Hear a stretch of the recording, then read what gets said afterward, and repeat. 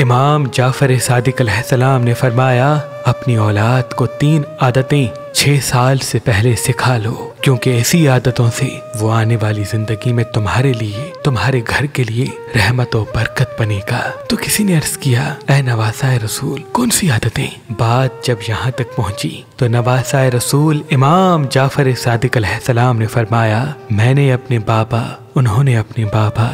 उन्होंने अपने बाबा और उन्होंने अल्लाह के रसूल से सुना कि जो इंसान अपने औलाद को अपनी चीज़ में से कुछ ऐसा दूसरे बच्चों में तकसीम करना सिखाता है तो जैसे ही ये आदत बच्चे के वजूद में कायम होती है, अल्लाह भी उसके लिए अपनी रहमत को तकसीम करने के दरवाजे उस घर की तरफ़ खोल देता है, क्योंकि किसी को अपने हिस्से में से कुछ देना गैबी इमदाद के दरवाजे को इंसान की तरफ़ खोलता है। दूसरी आदत अखलाक से बात करना, जो इंसान अपने बच्चों को बुज़ुर्गों के लिए अदब, एहतराम और अखलाक से बात करना सिखाता है तो अल्लाह पाक अपनी मखलूक़ात का दिल उस घर की तरफ़ मोड़ देता है, जिस घर में वो बच्चा रहता है, और यूँ वो इंसान माली हवाले से बरकत, खुशहाली वो जमाने में इज़्ज़त पाता है, और तीसरी आदत माफ़ करना। याद रखना। याद जो इंसान अपने बच्चों को ये सिखाता है कि वो दूसरों की गलती फ़ौरन माफ़ कर दे तो अल्लाह पाक उस इंसान के घर की तरफ़